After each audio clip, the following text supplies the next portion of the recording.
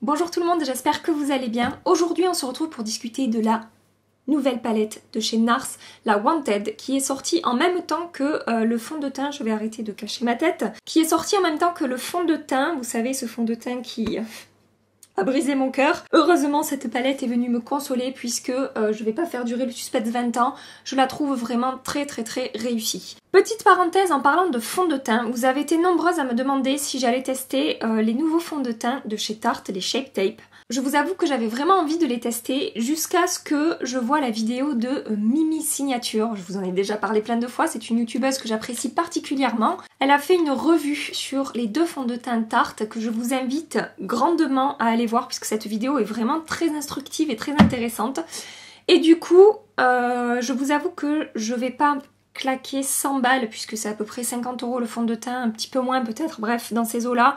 Euh, par rapport à la vidéo de Mimi, voilà, j'ai vraiment pas envie. Euh, déjà, le fond de teint Nars, ça m'a fait mal. Alors, euh, voilà. Donc, je vous invite à aller voir sa revue. Je vous mets le lien dans la barre d'infos. J'en reviens à ma petite palette. Donc elle est vendue sur le site de nars.fr au prix de 55 euros. Elle est arrivée dans certains Sephora. Cependant, je ne l'ai pas trouvée sur le site de sephora.fr encore. Sachant que ces derniers jours, donc là on est dimanche, vous verrez cette vidéo mercredi, mais ces derniers jours-là, en fin de semaine, le site internet de Sephora a bugué et plein de produits ont disparu. Voilà, donc peut-être que d'ici mercredi, elle sera en ligne sur le site, je n'en sais rien. Mais vous pouvez quand même la trouver, je me semble, sur fil unique, donc je vous dis sur nars.fr et sur d'autres sites qui livrent, en France. Donc rapidement pour la description, créez des yeux qui feront des envieux avec cette nouvelle palette d'ombre à paupières en édition limitée.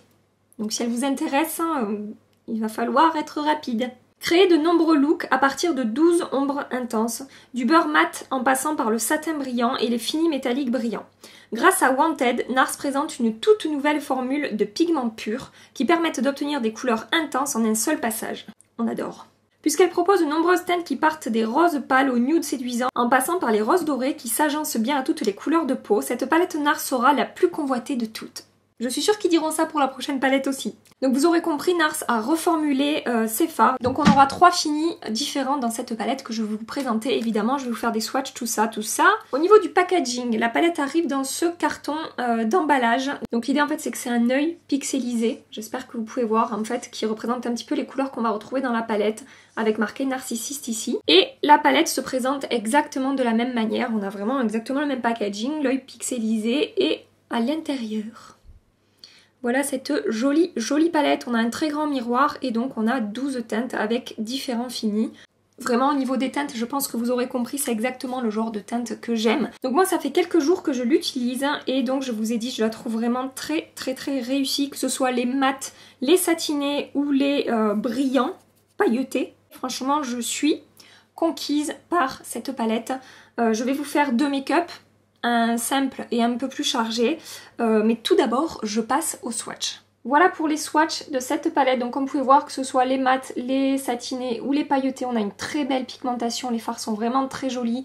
Ils ne sont pas du tout secs. Certains fards de chez NARS avant euh, pouvaient avoir une texture un peu sèche, pas forcément agréable. Et là, franchement, pas du tout. Je trouve la qualité de tous les fards très très bonne. Et ce que je vais faire comme d'habitude, c'est que je vais vous montrer en direct euh, trois swatchs. Que vous puissiez voir en direct un petit peu la pigmentation. Voilà. Donc là on a le pailleté, le satiné et le mat. Donc vous voyez ça swatch vraiment très bien et euh, je ne rencontre aucun problème avec ces fards. Je vais passer maintenant au make-up mais juste avant pensez à liker cette vidéo si elle vous a plu et si vous êtes nouveau sur ma chaîne pensez à vous abonner en cliquant sur le petit bouton s'abonner qui s'affiche sous ma vidéo pour ne rien manquer de la suite des aventures. Je passe tout de suite au make-up. J'ai déjà appliqué ma base sur ma paupière, il s'agit du Paint Pot de chez MAC en teinte Soft Ocre qui fait office de très très bonne base de fard à paupières. Je vais appliquer de la poudre euh, sous mes yeux parce que j'ai déjà fait mon teint et j'ai pas envie de me retrouver avec euh, des chutes partout puisqu'il y a quand même certains fards de cette palette qui euh, peuvent faire des chutes, en particulier les fards pailletés. Je vais avoir plombé mon highlighter. Ouh, tant pis. Pour commencer, je vais prendre cette teinte ici que je vais appliquer sur toute ma paupière mobile en remontant jusqu'à l'arcade sourcilière. Ça va venir unifier ma paupière et ça va permettre au fard que je vais appliquer après de s'estomper plus facilement. Je vais prendre la teinte qui est ici, que je vais appliquer dans mon creux de paupière comme une couleur de transition et je vais comme d'habitude estomper, estomper, estomper jusqu'à avoir un résultat vraiment diffus sans aucune démarcation. Comme vous pouvez voir, je n'ai absolument aucune difficulté à travailler le fard. Il s'estompe très très bien, la pigmentation est là, vraiment, euh, la qualité du fard est très très réussie. Je prends cette teinte ici, toujours avec mon 217 de chez MAC. Et je vais également l'appliquer dans mon creux de paupière, mais je vais rester un peu plus précisément dans mon creux. Je vais moins remonter qu'avec la première couleur que j'ai appliquée. Avec mon doigt, je vais prendre la teinte ici que je vais appliquer sur toute ma paupière mobile en déposant la matière, en tapotant mon doigt sur ma paupière. Je ne vais pas étirer, je vais tapoter. Je prends la teinte qui est ici avec un pinceau 224 de chez Zoeva que je vais appliquer dans mon coin externe en remontant un petit peu dans mon creux et je vais estomper, estomper jusqu'à obtenir un résultat diffus. Je n'hésite pas à venir reprendre de la couleur jusqu'à obtenir le résultat et l'intensité désirée. Je reprends mon 217 de chez MAC et je vais venir estomper les bords de la couleur que je viens d'appliquer. Avec mon pinceau 223 de chez Zoeva, je vais prélever un petit peu de la couleur marron foncé ici et je vais intensifier très précisément mon coin externe. Je ne vais pas euh, remonter par-dessus toute la couleur que je viens d'appliquer, je vais rester vraiment précisément dans mon coin externe. Je reprends mon pinceau avec lequel j'ai appliqué la teinte rouge brique et je vais venir euh, estomper le marron foncé que je viens d'appliquer. Rapidement, hors caméra, je vais faire un trait de liner avec euh, ma teinte Blackout de chez Urban Decay et un pinceau biseauté humidifié. J'applique du mascara et je reviens tout de suite. Pour mon ras de cils inférieur, je vais prendre la teinte marron ici que je vais appliquer tout le long de mon ras de cils, quasiment jusqu'au coin interne. Et pour ça, je prends mon 234 de chez Zoeva. Avec mon pinceau 317 de chez Zoeva, je prends la teinte marron foncé et je vais intensifier ma ligne de cils inférieure. J'applique du mascara au ras de cils inférieur, je retire la poudre et je reviens tout de suite. Et donc voilà pour le premier œil. Donc comme vous avez pu voir, vraiment je n'ai eu aucun souci pour travailler les fards, la pigmentation est là, la qualité est là, il n'y a vraiment aucun problème.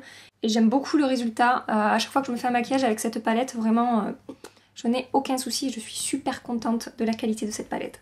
Je passe maintenant au deuxième œil, donc je vais faire quelque chose de plus chargé. Mais pour commencer, je vais prendre cette teinte ici que je vais, comme tout à l'heure, appliquer en couleur de transition pour préparer la suite de mon maquillage.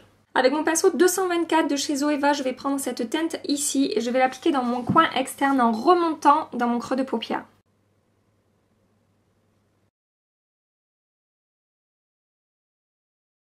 Je vais humidifier mon doigt avec du spray fixant et je vais prendre cette teinte ici que je vais appliquer sur toute ma paupière mobile en tapotant comme tout à l'heure en déposant vraiment la matière. Je ne vais pas faire glisser mon doigt, je vais déposer le fard sur ma paupière mobile.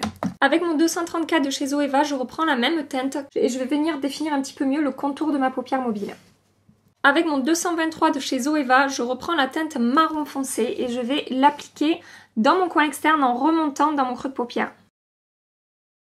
Je reprends mon 217 de chez MAC et je vais estomper mon creux de paupière. J'applique du liner et du mascara et je reviens tout de suite. Pour mon ras de cils inférieur, je reprends cette teinte ici avec mon 234 de chez Zoeva qui est toujours humidifié et je vais tracer mon ras de cils inférieur euh, quasiment jusqu'au coin interne. Avec un pinceau biseauté de chez Juvia's Place que j'ai eu dans un kit, je vais prendre cette teinte ici et je vais également euh, tracer mon ras de cils inférieur, mais un tout petit peu en dessous de la couleur euh, kaki que je viens d'appliquer. J'applique rapidement un crayon noir dans ma muqueuse. Comme touche de lumière, je vais prendre un petit fard de chez Makeup Forever qui est le Starlit Powder. J'aurais pu, euh, le faire avec cette teinte-là, mais je veux quelque chose d'un peu plus intense. Donc, ce sera la teinte numéro 13 du Starlit Powder.